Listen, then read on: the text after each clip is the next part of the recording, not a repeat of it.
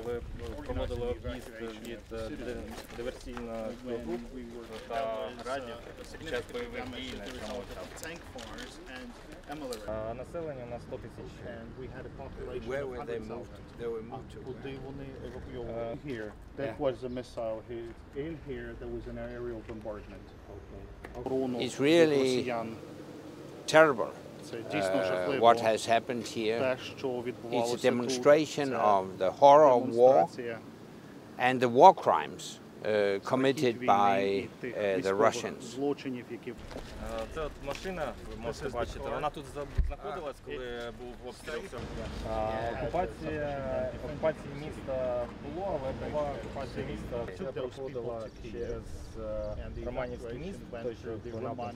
I'm visiting Kiev today I'm meeting with President Zelenskyy uh, because um, he asked me to chair an international group of experts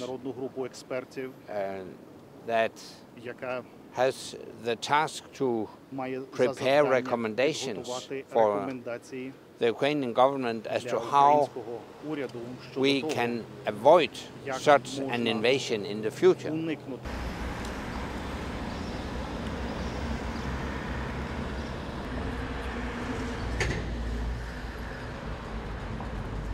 I'm here to make my contribution to make sure that Ukraine will not just win the war, but also win the peace.